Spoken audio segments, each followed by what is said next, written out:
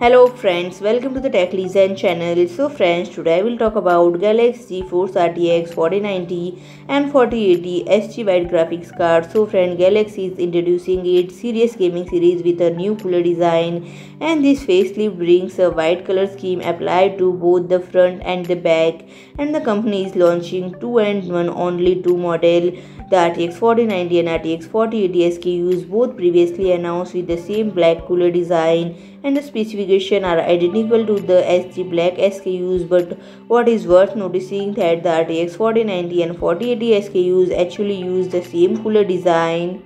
and friend in terms of clock speed this card supports so called one click OC setting which is available through the bundled software so friend if you like my video Please do like, share and comment and don't forget to subscribe my channel and press the bell icon.